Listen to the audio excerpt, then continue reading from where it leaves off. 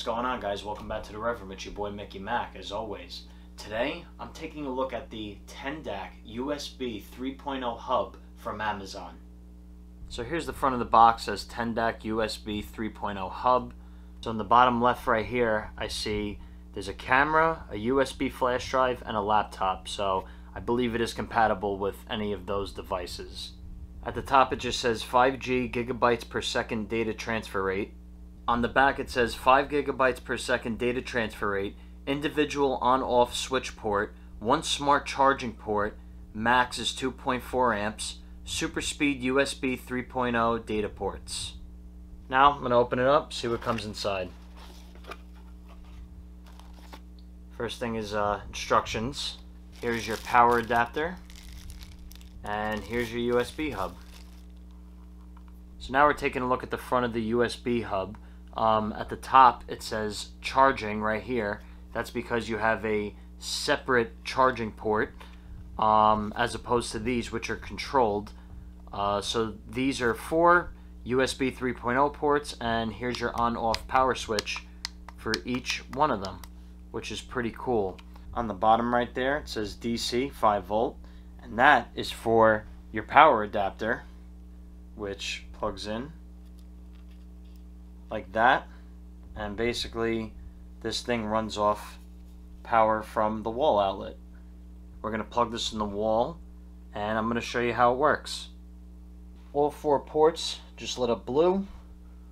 If the lights are off that means the power going to these USB ports individually are off.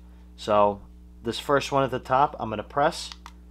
Now when the light goes on like that that means that this USB port is on. Um, if I want to turn it off, I just press and hold, and then it goes off. So you could turn them all on, and you could turn them all off. And then right here they have this separate charging port, um, which I will demonstrate. I don't think you could technically turn this one on and off this one I think is just always on as long as uh, you got power going to the wall outlet. So I'm going to try that out right now. I'm going to plug uh, my lightning to USB cable into the charging port of the USB hub and of course I'm going to take my other end and plug it into my iPhone.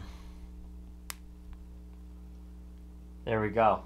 So now I could simultaneously charge my phone while I'm using this hub to import, export, or use other accessories that require USB. Yeah guys, that was my overview of the Tendak USB 3.0 hub. Um, this device is really cool. It could definitely do a lot. In my next video, I'm going to show you the reason why I bought the Tendak USB 3.0 hub from Amazon. This thing is super cheap, coming in at $20 and it comes with the power adapter. Definitely can't beat that. Overall, I definitely love the design of this USB hub. My favorite part is the lights indicating which USB port is on or off. So if the light's on, that means it's on. If it's off, then it's off. Um, I like the blue light. Um, I like how they stuck with the theme of the blue color and the Tendak logo. And obviously, everyone knows either SS USB or aka 3.0 USB is always usually uh, a blue port so I like that the lights on the USB ports are blue for when they are turned on and you have the separate charging port at the top even though there is no switch to turn that on and off you just plug something in and it charges. I think this is a really cool product and I highly recommend it.